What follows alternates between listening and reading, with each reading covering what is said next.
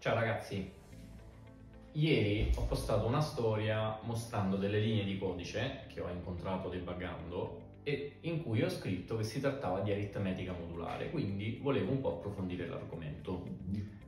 Che cos'è l'aritmetica modulare? È un particolar tipo di aritmetica introdotto da Gauss che viene utilizzata fondamentalmente per verificare che determinati codici numerici siano corretti, quindi a mo' di controllo, oppure in crittografia.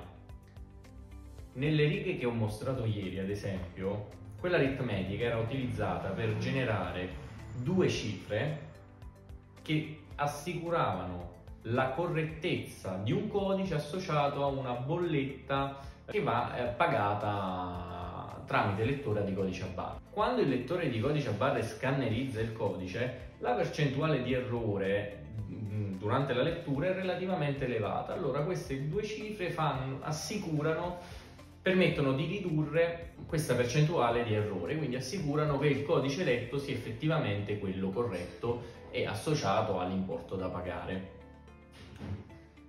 Ed è un'aritmetica particolare perché prevede ad esempio che 10 più 3 possa fare 1. Vi dirò che questa aritmetica viene anche chiamata aritmetica dell'orologio. O meglio, non è che ve lo dirò, ve l'ho appena detto. Si chiama aritmetica dell'orologio perché? Perché se considerate un orologio che sul quadrante ha 12 ore, quindi 12, 1, 2, 3, 4, 5, 6, 7, 8, 9, 10 e 11 e svolgete questo calcolo su questo quadrante, che cosa ottenete? 10, contate 3, quindi 1, 2, 3, ottenete effettivamente 1. Matematicamente scriviamo che 10 più 3 è uguale a 1 modulo 12 per indicare che questa operazione è valida, cioè questo risultato vale, ma su un orologio, su un orologio il cui quadrante conta 12 ore. Questo numeretto qua si chiama modulo.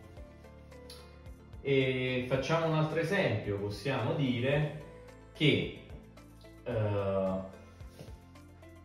15 è uguale a 3 modulo 12. Perché? Perché se, se, partite da 1 e contate 15, finite effettivamente su 3. Infatti se sono le 15 vuol dire che sono le 3 di pomeriggio, no? E di fatto il numero che scrivete qua altro non è che il resto della divisione di questo numero per il modulo. Se fate 15 diviso 12, il 12 entra nel 15 una volta, con il resto 3. E da qui il 3 che abbiamo scritto possiamo anche dire che so che 25 è, uguale, eh, 25 è uguale a 1 sempre mod 12 perché? perché 25 diviso 12 12 per 2 fa 24 a 25 1 questo è il resto Chiaramente possiamo utilizzare anche altri moduli, io qui sto utilizzando 12 perché è quello che abbiamo, con cui abbiamo a che fare praticamente tutti i giorni, perché sono il numero di ore sul quadrante dell'orologio, ma posso considerare un orologio che presenta ad esempio 10 cifre, 10 ore. Su questo orologio abbiamo che eh, 9 più eh, 3 è uguale a 2